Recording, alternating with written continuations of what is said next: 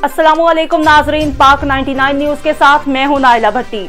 आइए नज़र डालते हैं आज की कुछ अहम खबरों पर। गोडकी से खबर शामिल करते हैं, राहब अली आज़ाद सोमरो की रिपोर्ट के मुताबिक बलदियाती इंतबात के हवाले से पाकिस्तान पीपल्स पार्टी के M P A Mir Shahryar Khan sir ने ढड़की में बलदियाती इंतबात के हवाले से मनद जलसे से खताब करते हुए कहा कि इमरान खान को इसलिए अलविदा कहा कि जब भी मैंने सिंध की आवाम के लिए तरक्याती काम बोला, इमरान खान ने कहा कि सिंध से हमारा ताल्लुक नहीं। वहाँ पीपल्स पार्टी की हुकूमत है खान साहिब से मैं मुसलसल तीन साल तक गुजारिश करता रहा, मगर इन्होंने मेरी एक ना सुनी। पाकिस्तान पीपल्स पार्टी ने हमेशा गरीब आवाम की खिदमत की है, इसलिए पीटीआई को छोड़कर जमहूरियत की अलमदार और आवाम की हकीकी तर्जमानी करने वाली पाकिस्तान पीपल्स पार्टी को ज्वाइन किया।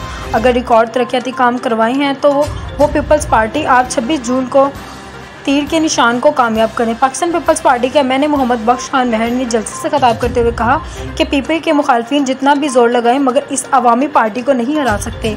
पीपल्स पार्टी ने हमेशा गरीब मसाकिन की खिदमत को अवालीन तरजीह दी है। हमने झूठी सियासत के बजाय आवाम की हकीकी तर्जमानी की है, जिसकी वजह से मुखालफिन परेशान हैं।